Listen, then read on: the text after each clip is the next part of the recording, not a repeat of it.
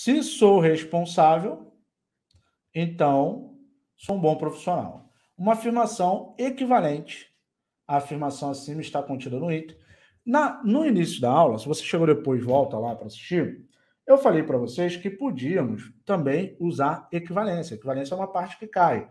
E as equivalências no MPP nós separamos em duas, tá? Chamamos de equivalência 1 e equivalência 2. A equivalência 1 é o nega tudo inverte. Nos livros você pode achar de contrapositiva, né? Nega tudo, deixa eu apagar. Nega tudo e inverte. Nos livros você também vai ver contrapositivo, né? Nega tudo e inverte.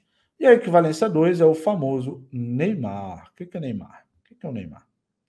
Você nega da frente, você muda para o ou e mantém a de trás, beleza? É isso que tem que fazer. Mas, Renato, como é que eu vou saber qual das duas eu tenho que usar, Renato? Ai, meu Deus. Gente, como é que você vai saber qual das duas usar? Você vai primeiro identificar que o problema é equivalente, com menos dos 50. Já identificou. Agora, identificou que o problema é equivalente, de equivalência, você começa sempre usando a equivalência 1. Usa a equivalência 1 na frase que ele deu. Se tiver a resposta, você marca. Se não tiver, aí sim tu usa a equivalência 2, tá? Então vamos lá. Se sou responsável, então sou um bom profissional. Vou até botar aqui para gente brincar. Vamos lá? Vou até escrever aqui novamente para você entender. Se sou responsável, responsável, então sou um bom profissional. Profissional, né? Sou responsável, então sou um bom profissional. Vamos à equivalência 1 aqui? Equivalência 1, galera, é o quê? Negar tudo e inverter. Deixa eu botar aqui de preto, se, então. Tá? Então vamos lá. Nega tudo inverte. Essa é a equivalência 1.